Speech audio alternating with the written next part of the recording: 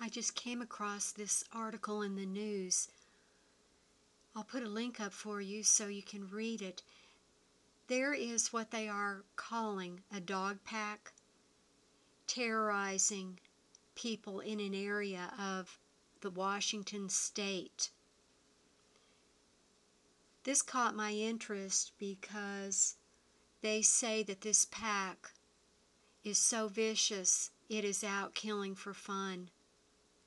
They've looked for it, but they can't find it. Someone just happened to capture some of the members of this pack on one of their security cameras. And this pack is on a killing spree, killing farm animals, and it's really awful, and people don't know what to do. They can't find it. They don't know where it goes during the day. It only comes out at night. And of course, the residents are terrified that um, these things are going to start targeting children. What caught my interest was when I looked at the photograph, the one that you're looking at sure doesn't look like a dog to me. It looks like either a wolf or some very strange type of hybrid. So I'll just show you the rest of the image of it. It reminds me of a shapeshifter that I saw a couple years ago. I was with another person.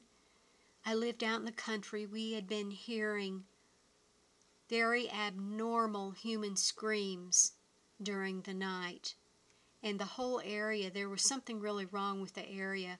We did end up moving out of that place. But early one morning, I'd say around 5 a.m., we saw this thing walking down the road. And the gait it had was not the gait of a wolf or a dog, and it looked a lot like this thing here.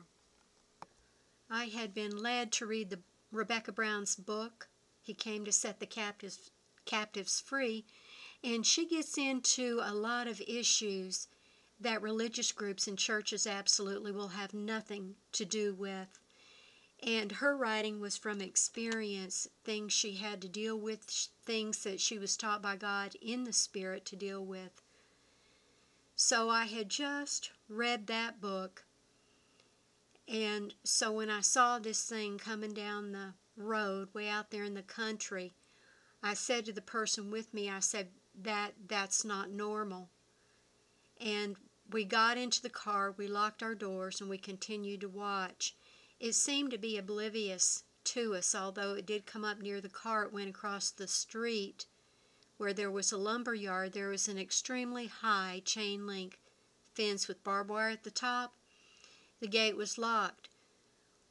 Well, we were looking at each other talking. I looked back and the thing was in the lumber yard there was a bonfire that had been built the previous evening and it was still smoldering.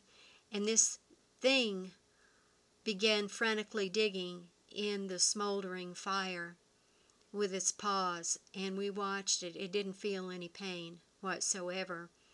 But the shape of it and what we saw really reminded me of what I saw years ago that I do believe was a shapeshifter I'm going to put a link up for you to this article and you can take a look at it. If you want to, look at it with a negative filter. I guarantee you, you will get chills if you do that. These things, I believe, are being turned loose on the populations. They say they can't identify the breeds within this pack from the photo. Killing for the fun of it? Sounds too much like the giant wolves